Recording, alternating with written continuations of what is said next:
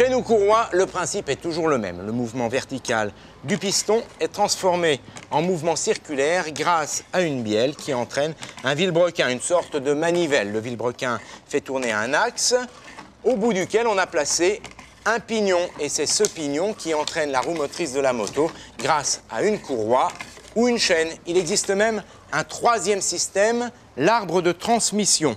Le pignon fait tourner l'arbre et l'arbre fait tourner la roue motrice de la moto. Ça, c'est pour le principe, parce qu'entre les deux, il y a la boîte de vitesse qui permet à la roue motrice de la moto d'aller plus ou moins vite. Que trouve-t-on à l'intérieur? Un axe sur lequel on a placé des pignons de différents diamètres. En fait, c'est le pignon fixé sur le vilebrequin qui fait tourner les pignons de la boîte de vitesse. Quand on change de vitesse, quand on passe de première en quatrième par exemple, eh bien on change tout simplement de pignon. On passe du plus grand au plus petit. Et l'axe tourne beaucoup plus vite. Le pignon de sortie de boîte tourne également beaucoup plus vite.